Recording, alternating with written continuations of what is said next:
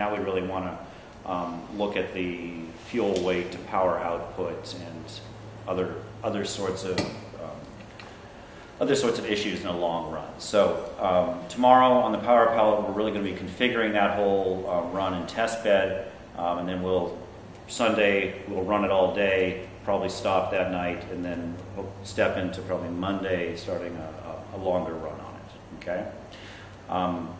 Um, this weekend we're doing it as a, a, a core three-day weekend because the projects we want to do this time are a little longer and we want to involve everyone in the setup of, of these projects. These aren't push button, they go sorts of endeavors. So really tomorrow is going to be the, the assembling of, of all of those projects. So the Power Pallet project, uh, the biochar project is similarly going to be using the BECK as a test bed to run about six or seven different pyrolysis modes um, on top of this single reactor, um, running one fuel in the different modes at an approximation of an equal uh, temperature and residence time. What we're trying to do at the BECK is to take the discussion of biochar beyond just residence time and, um, and temperature and RAM, and also try to generate some real data about what the different process modes do to the char in terms of its, um, its, its, physical characteristics as well as understand how that affects um, soil performance.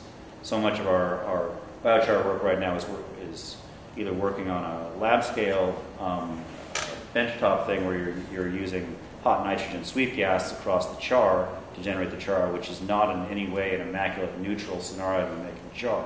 There's very specific things it does to the char. Okay. Um, and then out in the world, when we're actually deploy this, we have some very real industrial dependencies about how you can make this reasonably economically and process-wise. So again, we're trying to trend, we're trying to transit that space. So I think we need to understand the get some real data on what these different process modes do to char, and then use that to better define the types of reactors we want to use. What's Alex? the feedstock you're working with for long shells? Or? No, we're going to work with the cedar, cedar, cedar chips. Okay. Um, so the char is not going to be you know, terribly exciting in terms of any amendments in it. Um, it's just going to be basic woody biochar feed or woody biomass feed.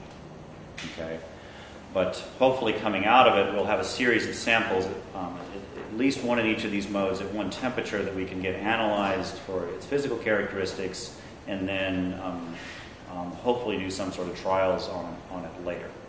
Okay, and depending how well we do, then we'll start a, running those six across different temperature ranges or, or something. Okay? And then going from there, um, you know, in the months months ahead, we want to start running different fuels through those those regimes. So we're hoping to be able to use the BECK as a platform where we can d- develop you know, a database of char samples and performance that isn't drawn from comparing research on different machines in different places at completely different scales and run parameters and whatnot, but instead try to get this common base where at least the reactor is the same. It's the section where the effects of the heat and the gas flow are um, is, is, is, is equal because it's one thing. And then we change all these other parameters about how things go through there. Okay? So that's kind of the larger project of BECK. I mean, the BECK isn't a, a, a deployment machine. Um, it will do kind of small scale plot sort of char production but it's really a proving machine. It's, um, it's a kind of interim machine where we can under, better understand these modes and better understand what's needed in the, the, the um, um, engineering solution such that we can mix and control the modes in interesting ways. So probably the, the main thing we did with it was come up with a method where you can real time vary all the parameters and go between the different pyrolysis modes by flipping some levers and changing gas flow and whatnot. And that was a very interesting three-dimensional thermochemical problem. Uh, are there some modes that are producing more tars than other modes you find in practice? Very much so. Um, and that's also uh, affected by temperature, and what's in those tars changes significantly with, with temperature. Um, so one of the main uh, main things I'm interested in figuring out on the BECK is what happens by um, the direction you're just simply taking the gas off of the bed. Are you taking the gas away from the main char, or are you taking it back over the char? Um, if someone's looking just at yield, they're typically very interested in taking the gas back over the char because you'll get various types of secondary reactions and deposition and whatnot that will increase your, your yield. But depending on the temperature, those gases can be rather nasty, and what they're putting back in the char can you know, um, be a significant amount of PAHs, which um, could have uh, negative effects. It seems that the more biocidal chars um, get, I, I can't make that characterization it's, we're interested in the, the, the, impacts of the potentially positive impacts of some level of biocidal character in the char. And um, Benny's group in Israel is doing very interesting work around um, what are the potentially positive triggers that are, that, are, that are happening because of the slightly toxic nature of the char. And that's, that's coming from the tars. Okay? So, how you move that gas around off of the char is going to have a huge impact on um, so the BECK is set up in ways in which you can switch back and forth um, and really mix the, the, those, those variables. Is that a big issue for food crops? No one knows. So I don't know. Okay? So the BECK similarly, it's mostly assembled right now. We're going to be doing all the, the final configuration on it tomorrow. Um, Jay has, is uh, finally started the very interesting um, and for many of us in-game work in this about finding reasonable ways to go from the raw gas to, to a liquid. Um, really, where we're trying to go in this is a multimodal platform that will take in um, biomass in a wide variety of, of, forms and output a wide variety of power and products. Okay, so right now we have it um, working off of common wood chips um, this isn't a fuel agnostic reactor in any, in any manner. It's still based on a, um, a Imbert type downdraft reactor. We've done all sorts of interesting um, um, thermal recycling and better chemical handling, but it's still at its core uh, a throated nozzle gasifier, and that has a variety of, of liabilities that um, you can't get around in terms of different fuel sizes. Okay um, particularly as you go to, towards smaller fuels, which as fuels get less valuable, um, they and uh, more readily available, they're often going down in the in the smaller size, so ag waste and general shredded material and whatnot. So um, right now we're working with the, the wood chips as a general fuel. We can output electricity, heat, and shaft power. So the current Power Pallet um, is purposely developed around the ability to um, return um, electricity, heat as water off the engine, and shaft power as a PTO off of the, the, the front of the engine. Um, we found the combination of those three things are, are, are regularly asked for by um, most of the developing world projects that are interested in these things. And this really is a rural or a developing world in optimized technology we get a lot of requests from um, agricultural co-ops or food processing areas where they need to do they need electricity to run run fans and motors and typical things. They need heat to do drying, and they need the shaft power to run you know, pumps and mills and, and, whatnot. So they want those three combinations of things. We've got to that point. Um, the next two big steps that will be coming in the future is a manner to get biochar meaningfully simultaneously with, with the power. And that's beyond just taking, taking biochar out of the ash bin or taking charcoal. It's been very high temperature charcoal.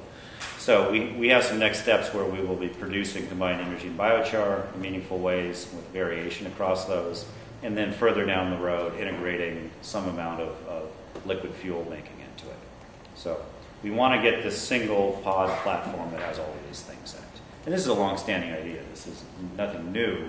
But the reality of, of making that in something that's more than a, a, a press release and at best a demo um, with you know uh, a few million dollars of, of DOE money is, is difficult. Um, the, the you know uh, Community Power Corporation has has done some in it, but at, price points that are in the five to ten dollar watt range, um, which is currently making sense for the military, but really no one else. Um, they're, they're really most of these small scale um, biomass to fuels things are, are only right now meaningful at, at you know, very large research dollars. So the military has had the most successful ones so far. So we're trying to see how well we can move this down into the, the expert configuration of crap and DIY makeable range. Big question on that right now is what can we realistically do on the, on the gas to fuels front, which is actually a, a very hard problem. Um, in some ways, much harder than gasification.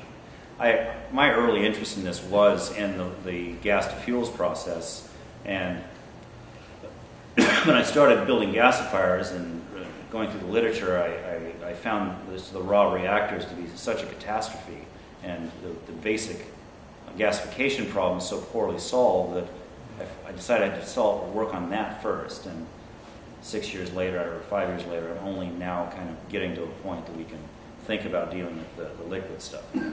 Okay. So, anyways, Jay's going to run that. Okay, and that should be, that should be very very interesting. Um, Marcus is going to continue on the the Lister Spark conversion project. Um, a big theme of what we do here is try to, as much as possible, build as little as possible. The goal in manufacturing is to build nothing. Um, you never get there. Okay, but you want to, whenever there's a pre-existing object or solution in the world, you want to leverage that.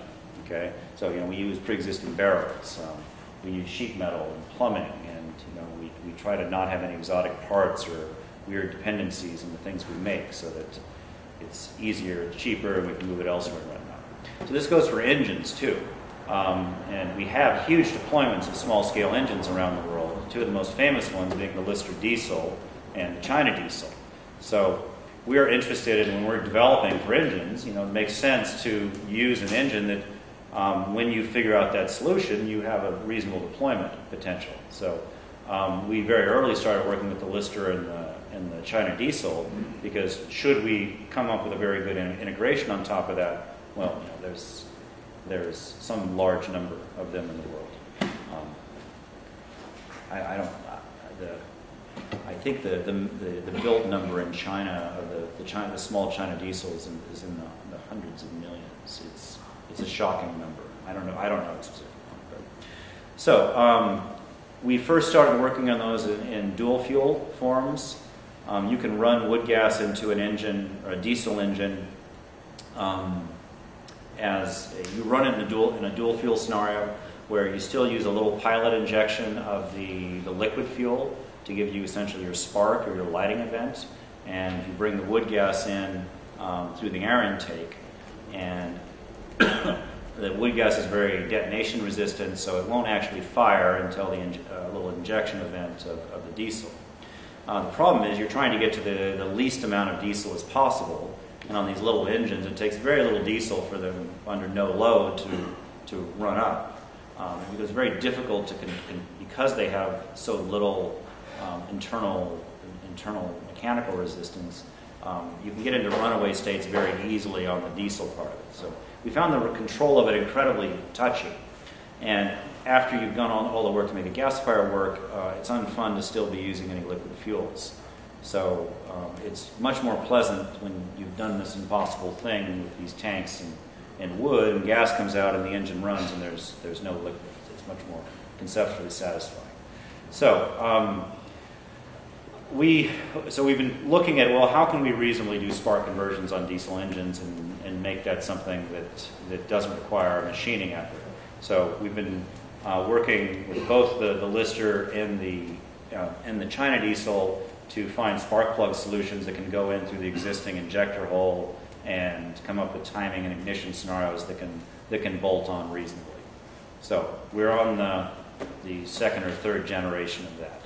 Uh, this time the, the spark plug and the Lister is going in over the the um, the compression changeover valve on the side of the head, which is a um, an artifact from the early Lister days when you increase the compression to get it start to start cold, and then you decrease the compression so that it would run and not destroy its bearings. Okay, they didn't run diesel engines at the at the compressions that we do today because they didn't have the materials to deal with the trip. Why do you have to use a diesel engine? What's the, the reasoning behind it? Um, because they exist and there's lots of them. That's the main. Yeah. It's because Otherwise, you'd otherwise you'd rather not. Yeah. Um, or I'd rather not. I mean, I, I think the Spark, the Spark uh, versions of them have a lot of attractions.